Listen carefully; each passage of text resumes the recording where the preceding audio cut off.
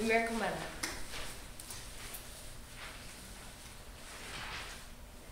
Beryllium, beryllium is a very useful element in the modern world. It is used in spaceships, missiles, high-speed aircrafts, communication satellites, and many more interesting things. But beryllium isn't used in its pure form in these things.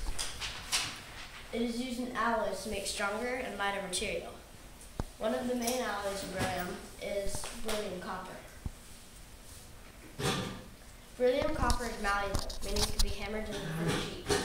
An example of its malleability is when it's formed into wires.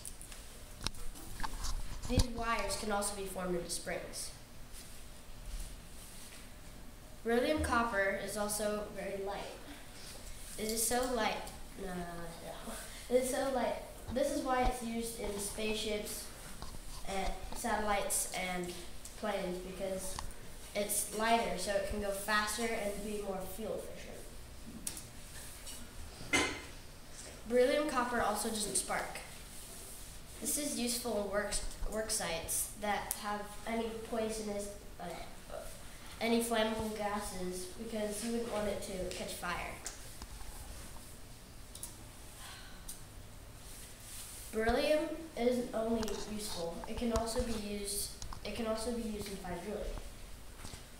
The compound that allows this the compound that allows beryllium to be like this is beryl. If you're wondering why beryl is in the word beryllium, the reason to this is because beryl was discovered first. And when Nicholas Louis Vauquelin discovered beryllium and found that it was inside beryl, he added, a little bit to the word bar- bar- beryl. All the types of beryl are red beryl, aquamarine, maxites, golden beryl, halide, goshenite, morganite, and even emerald. Emerald is the most expensive out of all types of beryl. It is so expensive that it can be that it can be up to ten thousand dollars per carat. But this is only for the finest and rarest of all emeralds. This is the size of an emerald that's one carat.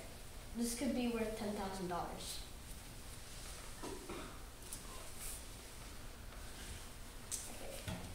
So, beryllium is in the second family on the periodic table. Or this is also called the alkaline earth metals, as you can see from the arrow. All of these elements in the alkaline earth metals are all very reactive and all, are never found alone in nature. They're always in compounds. Beryllium has some very interesting and odd traits.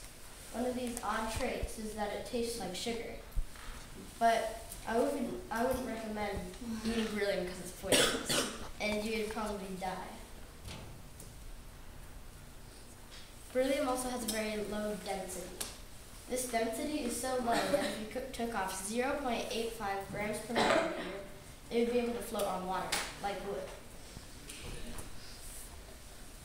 It is also very light.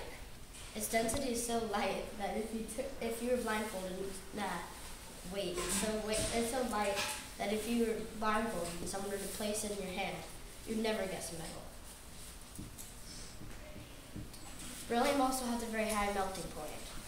Its melting point is so high that if you that it is 11 just over 11 times hotter than boiling water. It is also non-magnetic. Beryllium was created in the Big Bang.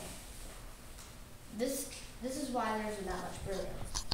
The only other source of its creation is when stars explode, but that doesn't happen too often. There are only three places in the world that mine and process beryllium. These three places are Kazakhstan, China, and the U.S.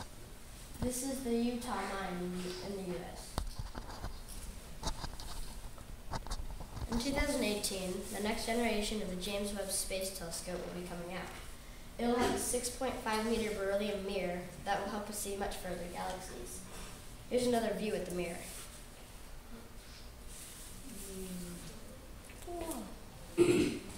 Beryllium is also found in eye surgery. What it does in eye surgery is it directs the beam at a certain point. Beryllium, isn't only found in such uncommon things like giant space telescopes and eye surgery.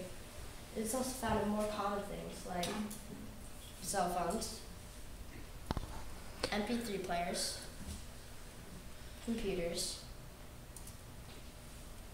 air conditioning, and even cars.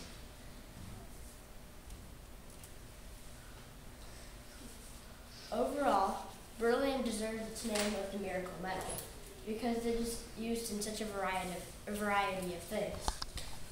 All from from missiles all the way over to fine jewelry.